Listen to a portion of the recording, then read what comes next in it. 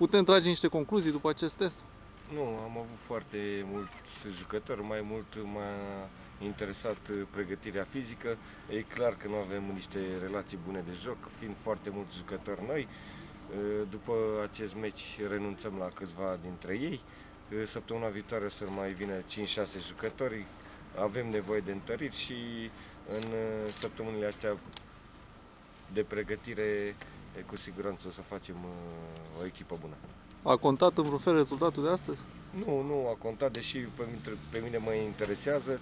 Vreau să văd atitudine la ei și în amicale, le-am spus. Uh, vreau să câștigăm și amicalele, dar uh, sunt conștient că e greu. Trebuie să-i văd pe toți care, care au venit, să le dau o șansă, fiindcă jocul, la joc vezi cel mai bine ce poate fiecare.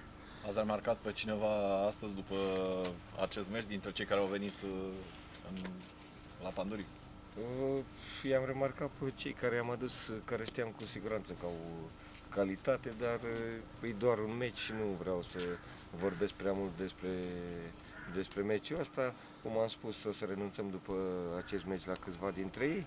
O să mai vină alții și o să facem un lot de 23-25 de jucători competitivi.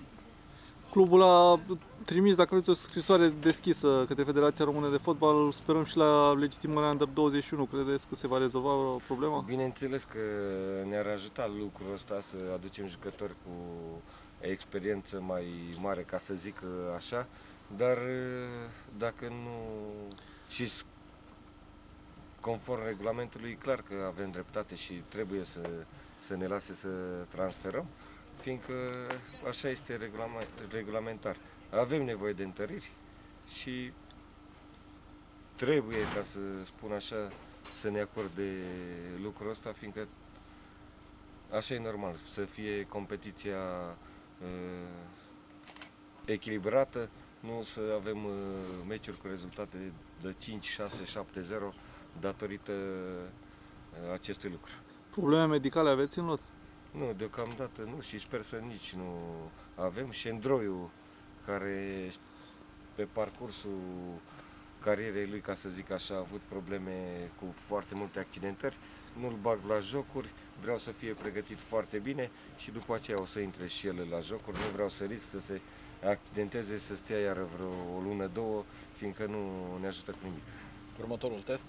Miercuri o să jucăm cu Rovinar, tot uh, aici, toate meciurile de fapt o să le jucăm acasă, fiindcă începem campionatul cu trei meciuri acasă, nu? Jucăm cu Reșița, Viitorul și FC Argeș acasă și avem nevoie să, să avem cât mai multe meciuri, să omogenizăm relațiile, fiindcă ați văzut, este, este greu când vin foarte mulți jucători, dar eu am încredere, cum am spus înainte și mă repet, că o să facem un lot bun și o echipă competitivă.